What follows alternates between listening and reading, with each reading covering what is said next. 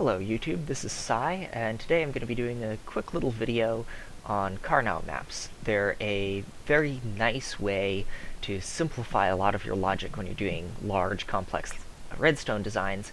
Um, I'm going to try and show it entirely in Minecraft, so I'm going to show you my notation first and then the rest of it. Here, in both of these truth tables, we've got white is false, black is true, or white is 0, black is 1, and our inputs are surrounded in green, outputs in red, blue's just a separator.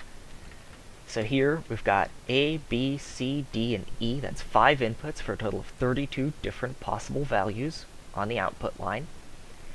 And if you were normally making something and you needed, say, this particular set of outputs, you'd start out, you'd look at your outputs that are black, and that is that they're on, and you'd say, not A and not B and not C and not D and not E, or the second output, not A and not B and not C and D and not E, or, and you'd continue this all the way along your outputs for every output that's black.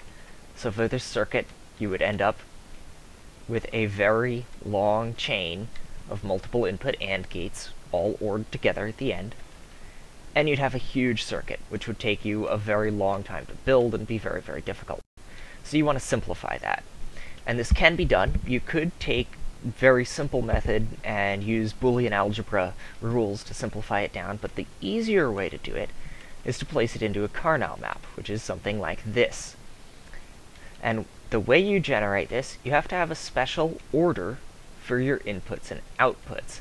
This is called a gray code, where from any one cell to the next cell, only one bit changes.